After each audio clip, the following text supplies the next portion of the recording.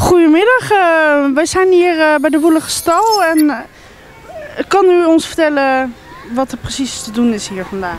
Nou, het is vandaag sowieso de landelijke buitenspeeldag. En daarbij zijn we geld aan het sparen voor, een, voor ons spaardoel. zoals je ziet, we hebben net een nieuwe speeltuin op de boerderij. En als spaardoel hebben wij een, een klankbord, een xylofoon. En dan kunnen de kinderen muziek gaan maken op de boerderij.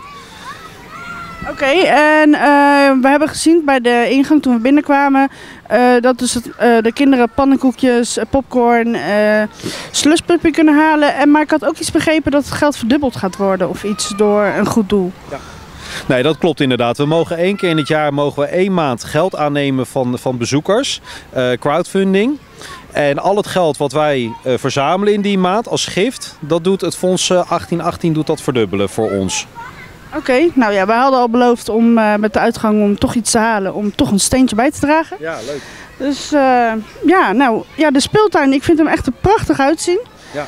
En uh, ja, we hebben al wat blikken geworpen en het ziet echt onwijs leuk uit. Ja, dankjewel. Ja, dat is, de speeltuin is mede een doel geweest van de afgelopen jaren. we doen dit nu al een paar jaar, dat we dus één keer in, de, in het jaar mogen, geld mogen aannemen van mensen. En uh, zoals je ziet, het is een, een zintuigenspeeltuin.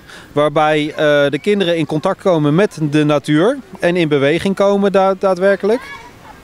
Uh, ja, dat hopen we eigenlijk nu met een stukje muziek nog veel leuker te maken voor de kinderen. Ja, nee, ja, het is echt een heel leuk idee. wat betekent dit voor de buurt, deze speeltuin? Nou, de speeltuin is heel erg belangrijk voor de buurt. Het heeft ermee te maken dat wij proberen de kinderen in contact te brengen met natuur en ook in beweging laten komen. Kinderen hebben hier weinig natuur in de omgeving. Het is heel veel huizen en steen. Dit is een stukje natuur voor ze.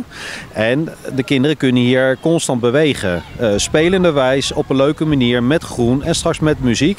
Ja, en mensen vinden het gewoon heel leuk om daar wat aan bij te dragen. Dus vandaar ook dat ze de gift uh, deze maand uh, geven.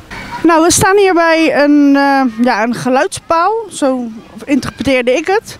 Kan u ons uitleggen wat dit precies is? Ja, dit is de Audionetic. En deze hebben we onder andere vorig jaar als spaardoel uh, gehad tijdens deze maand. Uh, wat ik net al aangaf in de speeltuin, ook hier staat bewegen centraal in combinatie met plezier. Het is een paal met een voetpedaal doorbij. Op het moment dat je gaat pompen, komen er spelletjes naar voren. En het idee is eigenlijk dat zolang jij blijft pompen, dat de spelletjes blijven komen.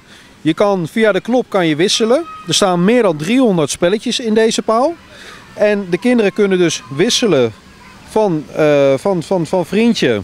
En op het moment dat ze blijven bewegen, hebben ze constant een spelletje om te spelen. Oké, okay, ik vind het een uh, hele mooie ontwerping. Ja, hartstikke leuk uitgevonden. Dan ga ik eens even uitproberen. Als gekozen, Nou, dat hoor je dus als ik uh, blijf pompen. En uh, nou, ja, het is uh, een leuk idee voor de kinderen en zo blijven ze actief.